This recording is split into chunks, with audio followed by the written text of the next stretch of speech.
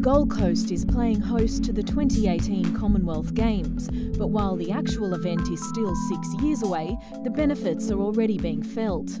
There is a tremendous body of knowledge that you just don't use once. It's something that you continue on, you know, from games to games. And in an Australian context, we've had this tremendous ability with the Sydney Olympic Games knowledge to take that through to Rugby World Cup, the Commonwealth Games in Melbourne, but also to people who are confirmed hosts, like in Russia, like in Brazil, uh, and like in uh, South Korea for the future.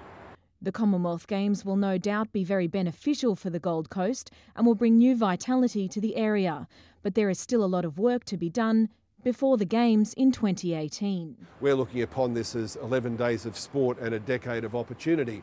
And that decade of opportunity will come, you know, starting before the Games. And what we're looking at uh, is across the board. We can see benefits for trade and investment, we can see benefits for tourism, we can see benefits for the education community in terms of know-how, but also too we can see benefits when it comes to sport.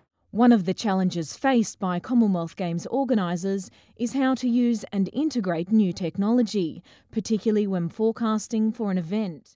One of the things that we're going to be doing here on the Gold Coast in the next few years is doing a massive amount of thinking about how the media will broadcast the 2018 Commonwealth Games and how people, for the want of a better phrase, consume those games. I mean, do they do it in the grandstand? Do they do it in live sites? Do they do it, you know, on their you know, handheld or tablet uh, devices? So we're going to be doing a lot of thinking about how these major events are actually you know, people participate in them and actually people consume them. And that's knowledge that you know, we'll be able to share with you know, future event organisers you know, right around the world.